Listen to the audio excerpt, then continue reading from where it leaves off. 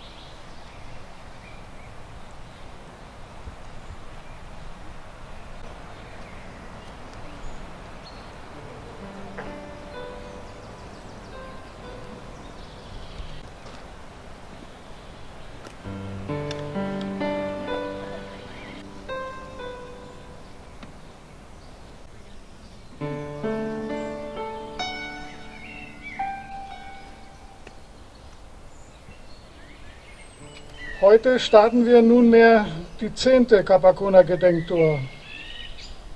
Dieses kleine Jubiläum macht uns ein wenig stolz. Ist diese Gedenktour doch auf gutem Wege zu einer festen Tradition, die in der Region verankert ist. Unter den über 130 Teilnehmenden zwischen 9 und 82 Jahren befinden sich heute viele Bürgerinnen und Bürger aus unserer Region sowie anderen Städten und Landkreisen und Bundesländern. So zum Beispiel aus Grevesmühlen, Klütz, Wismar, von der Insel Pöhe, Bad Klein, Neukloster, Gadebusch, Sternberg, Güstrow, Rostock, Schwerin sowie aus anderen Bundesländern wie Schleswig-Holstein, Hamburg und Niedersachsen. Am 8. Mai vor 71 Jahren endete das dunkelste Kapitel unserer Geschichte. Es endete ein Krieg, der für die Menschen grausamste Ausmaße erreichte. Ausmaße, die es so nie zuvor gegeben hatte. Im Zweiten Weltkrieg wurden durch die Vernichtungsmaschinerie der Nazis Millionen Menschen in den Tod getrieben, schwer verletzt und zur Flucht gezwungen.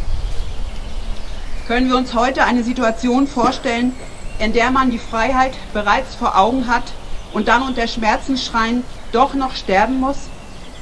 Auch wenn die Situationen nicht unmittelbar miteinander vergleichbar sind, sind wir doch alle erschüttert vom eiskalten Handeln skrupelloser Schlepperbanden und den unzähligen Flüchtlingsopfern im Mittelmeer. Und die neueste furchtbare Nachricht, ein Flüchtlingscamp in Syrien wurde bombardiert. Unvorstellbar. Leider ist auch heute das Leben von Millionen Menschen in der Welt von Krieg und Terror, von Flucht und Vertreibung, von Angst und Hunger bedroht. Der Streit geht auch wie in der Vergangenheit immer um das Gleiche, um Geld und Macht und unterschiedlichen Glauben. Dafür lassen unzählige Menschen ihr Leben. Und jeder hat davon leider nur eines. Meine Damen und Herren, tausende Menschen glaubten nach ihrer Folter und den Qualen, nach Hunger und Krankheit im KZ Neuengamme endlich auf dem Weg in die Freiheit zu sein, als die Kap Arkona am 3. Mai 1945 bombardiert wurde Feuer fing und eine unglaubliche Panik auf dem Schiff ausbrach. Etwa 7000 Menschen fanden in der Lübecker Bucht den Tod. Nur wenige Stunden vor Kriegsende und nach verzweifeltem Kampf um ihr Leben. Am Strand von Großschwansee entstanden ein Massengrab und eine Gedenkstätte für 407 Opfer, geschmückt mit einem schlichten Birkenkreuz. Wir wollen und müssen die Erinnerung daran wachhalten und weitergeben. Das ist unsere Verantwortung. Denn vergessen ist die letzte Grausamkeit, die wir den Opfern antun können, sagte der Landesrabbiner William Wolf.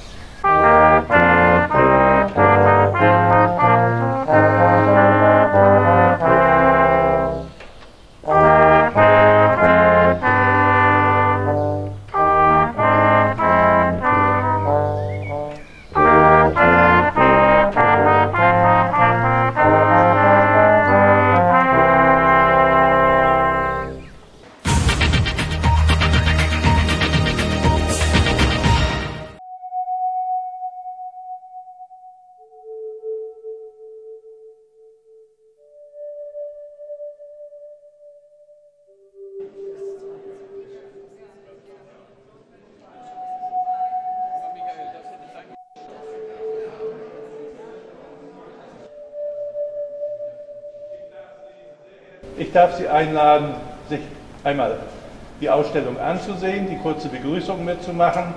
Etwas an Getränken haben wir bereitgestellt und Sie dann anschließend zu einem kleinen Rundgang durch die Stadt einzuladen mit dem Ziel äh, Städtisches Museum, Vereins- und Museumshaus.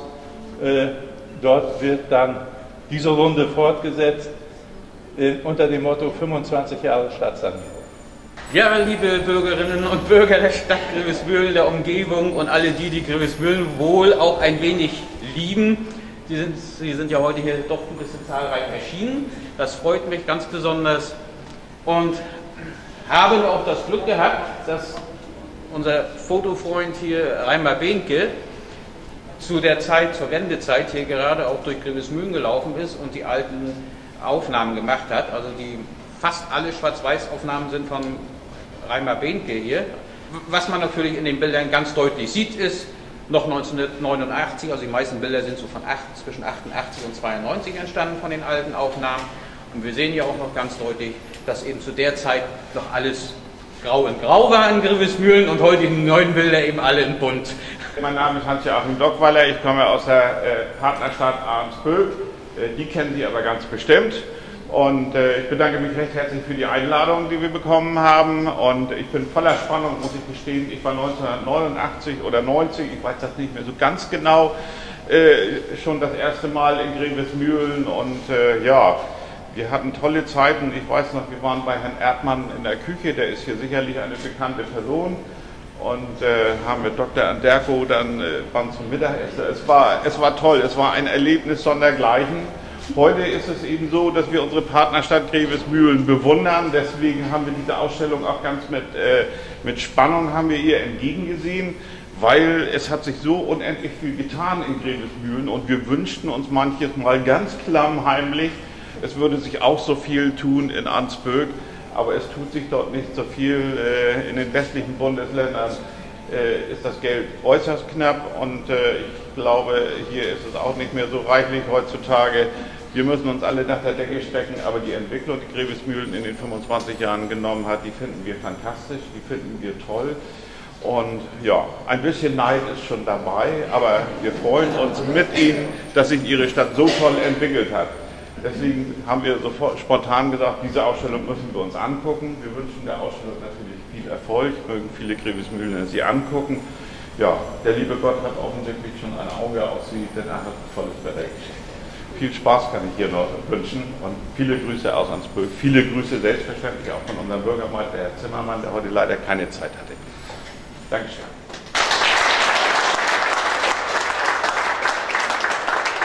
Ja, vielen Dank für die Grüße aus Ansböck.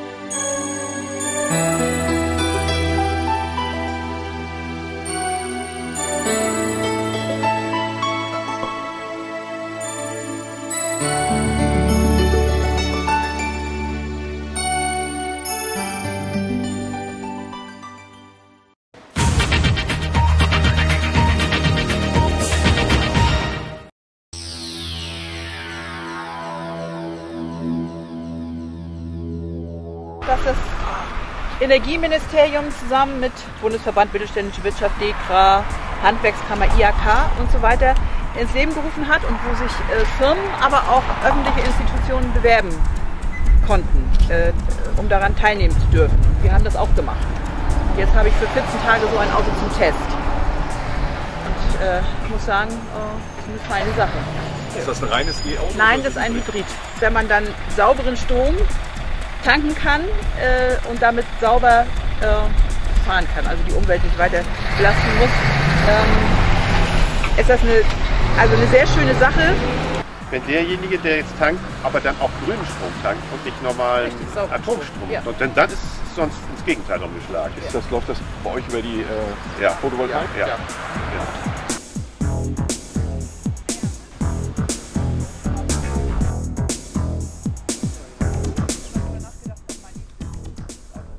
Wir haben im letzten Jahr gut 1000 Kilowattstunden hier vertankt. International jetzt, wenn welche so von Norwegen mit so einem Tesla runterkommen, Ja. haben wir häufiger Ja, mal. ja. Mehrere hier? Das die Ding wir auch. schon getankt haben. Und das geht schnell mit Ja. Schnelltanken hier. Das hat ja ziemlich Hier viel. kann jeder ran. Jeder Ja, Ja. ja, die ist 24 24-7 offen sozusagen. Kann jederzeit dann benutzt werden. Und, und kann man hier den umsonst lassen? Ja. Ja. ja. So. ja mal gucken.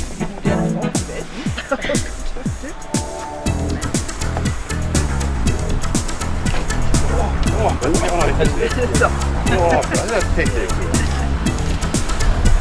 Ja.